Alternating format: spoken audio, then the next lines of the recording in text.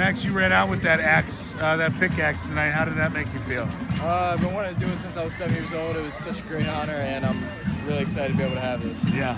Um, you know, you got thrust into a, a, situation that you probably didn't quite expect. Right. And so, you know, how have you tried to handle that? Uh, I've been preparing for it. I went right from halfback to quarterback, so it kind of was a easy, uh, easy switch and uh, the team just clicked with me. So, and it'll click next week with Kobe too. A couple of big, couple of big wins for you guys, especially right. tonight on homecoming. Right. Um, you know, how does, where do you feel like the team's at right now? I think we're in a really good place to take on the WRC. I mean, we go seven and three, and we have a 99% chance to make the playoffs. So that's the goal. Yeah, offense had some big plays. Now you didn't throw the ball once last week. Right.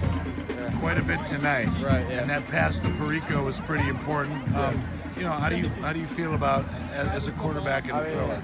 I used to want to throw a lot, but like now that I'm Chardon varsity quarterback, I just love running. I love running the ball now, so it doesn't really bother me. Yeah, good job.